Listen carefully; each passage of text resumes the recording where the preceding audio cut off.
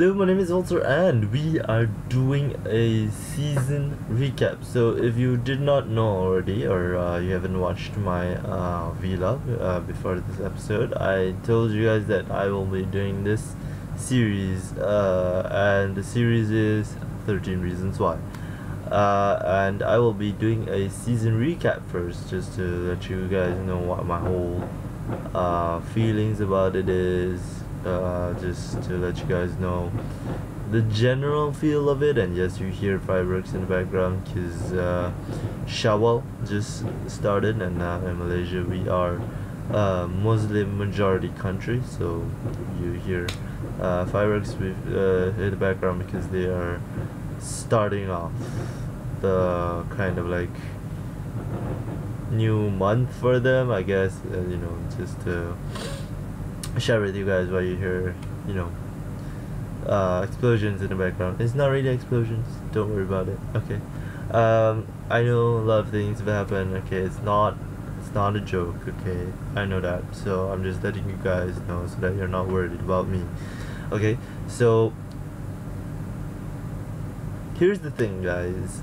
Um, suicide is not something I want to talk about because uh, you know I'm no expert in it. I just have very strong opinions on it, and you may or may not agree with me, and that's fine. You know we have our own opinions, and here's the thing: thirteen reasons why is very average. I know a lot of people are like, oh, it's the greatest series ever, and it's about to change how we look at our kids and you know how we take care of our kids, and uh, you know it's gonna help more high school students. Um, high school students identify you know and maybe they can stop no it's not uh, what you're doing here is that you're putting light on a very difficult subject to be taken. And when that final scene showed I believe there were some copycats you know not to say not to say anything bad about copycats it's just that that's what happens when you shine a light on suicide because it's with any death really. Like let's say uh, a celebrity's death. You know let's say um, Amy Winehouse's death you know was very tragic. You know we don't know why she did it. Uh, obviously you know it was linked with drugs but you know we never will know the full story. And after watching I after I watched the documentary movie it didn't seem like she was gonna go back to drugs but maybe. She went back to it. We don't know. We will never know. And we should not need to know. You know we should respect people's decisions. And uh, i'm not saying suicide is good. I'm not saying suicide is bad. I'm just saying it's a hard subject to talk about. And uh, here's the thing. Uh, there are two sides to the coin i have to talk about because in the series they brought it up as well you know is, did she do it for attention or did she do it for a better cause? And for me i'm on the fence because the first few episodes and i'll be talking about this during the post episode uh, the post episode breakdowns uh, the first few episodes for me really felt like she wanted to have her voice heard. In that i mean that she may have wanted some attention before she left this world and it's understandable. As a person who almost killed themselves which is me uh, I can only say that it's it's very horrible to have these thoughts and I I'm so glad that I have friends in my side and you know they just like said push through it and I don't know what I would do without them. And you know I I kind of identify with Hannah here and more so with Clay in the later episodes I feel. Um but you know there's something to be said when you're a girl as well. So I'm a guy I I don't know the shit that goes down with girls. You know, I I grew up with three sisters, so I have no problem treating girls with respect. But there are some guys who will catcall, who will, you know, do these kind of stupid things, just like macho, and it's, you know what, uh, sometimes I do it too. You know, I'm not taking the high road. You know, I'm not saying that I never do these things. I sometimes do, but when I do these things, I know that I'm fucking stupid, and I kind of like regret it after I do it. You know, I'm like, damn it, I went back to my whole Neanderthal. You know, in the middle of evolution or whatever. But there is something to be said when you're a girl, especially in high school. So that's something I can't really talk about even more. You know, it's something to be talked about more about with women. You know, I would very much like to invite a girl YouTuber to bounce ideas off of, but I sadly do not have any friends doing YouTube. It's only me and kind of my friend you know sometimes I do it with him. But again he's a guy I'm a guy we we not we are not really sure like how the whole girl kingdom works. We we know how the guy kingdom works you know? We know that the macho guy is always like ooh and you know he doesn't mean much you know he's just there to be a prick. Um, and you know the girls do have kind of that thing as well you know portrayed in media as well uh, and all of those things. But with guys is more of like we know we're just playing around with each other. We we don't really take things too seriously. We just brush it off and we just joke around with it. Um, which is not to say that's a good thing you know we don't as I've always said like you can't brush your feelings under the rug. If you need to talk to uh, to somebody about what happened, go. You know, if you need to write it down, do it. If you wanna maybe have a closer friend, try try to keep them around. But of course, friends come and go. I'm not saying like you should be desperate to have friends. I'm saying like you need to know how to pick friends and I think that's an underlying theme in this uh, show because I I watched this show twice. Okay, the first time I watched it, the first episode, I couldn't get through it because this is very much an artsy, you know, playback to the 80s kind of thing, the same way Stranger Things did it. But the difference between Stranger Things and this is that Stranger Things had more of a mystery going for it, and uh, I will be talking about how this show kind of reminds me of the movie Paper Towns, in which the guy chases up the girl, the girl, you know, with clues left for him and everything like that.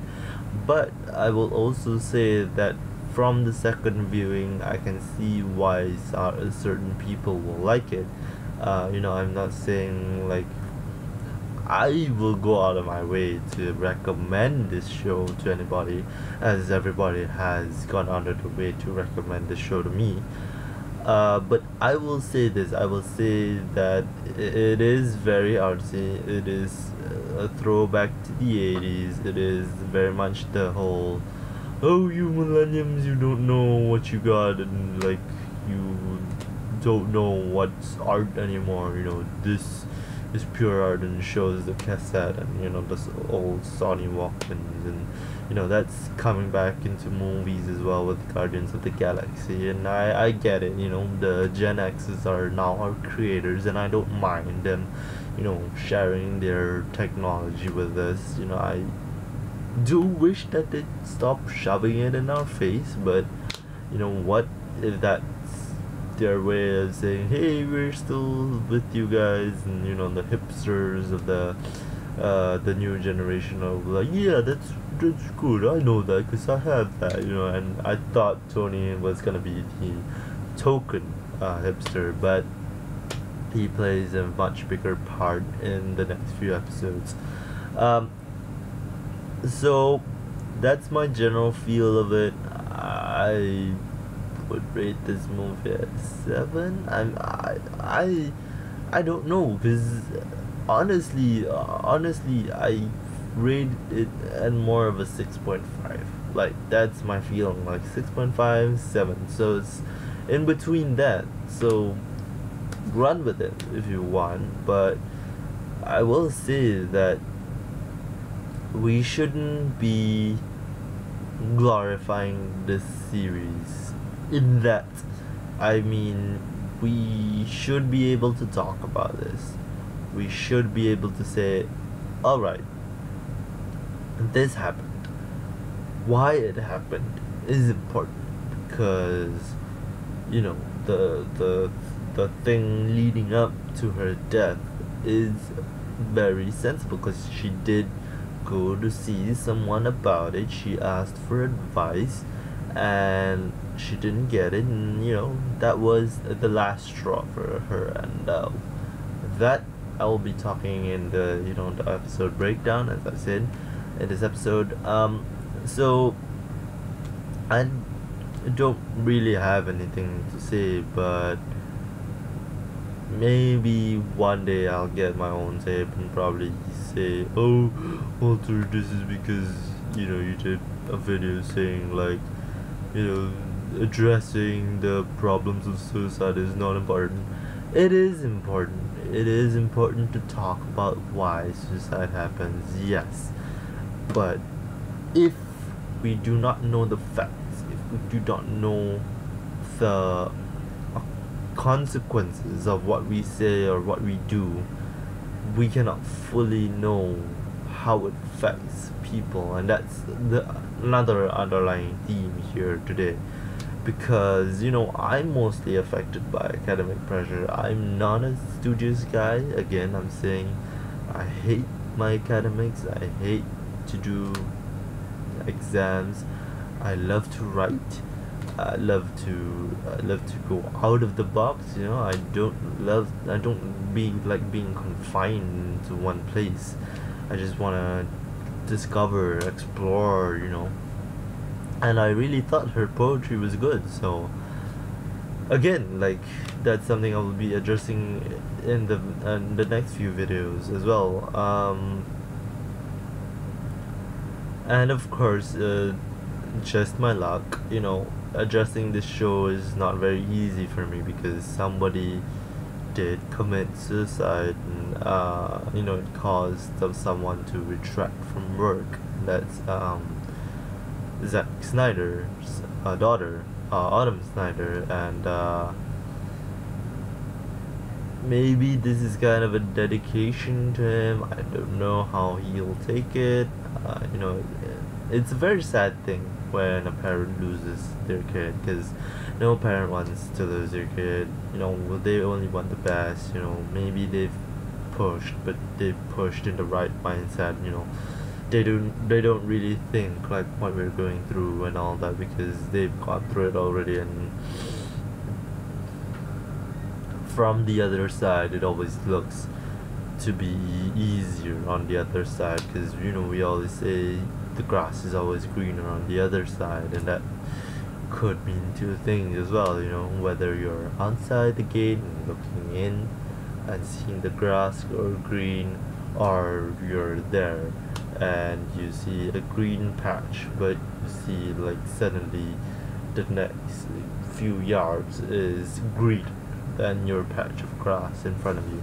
So um yeah not I've not I'm nothing much to say about the season recap because it's all in the episodes and I really want to save those to to really nail something with you guys and hopefully I give you more of a full idea of how I felt about it through these episode breakdowns because I really want you guys to understand that um, suicide cannot be really you know cannot be really like talked in depth because there are certain factors to be put into this. And it all stems from psychology. It all stems from something in their lives just spurring them on you know not in the right way you know spurring them on in the wrong way. And in hannah's case it was all these pieces coming in and uh, you know bullying not really bullying but you know peer pressure kind of thing.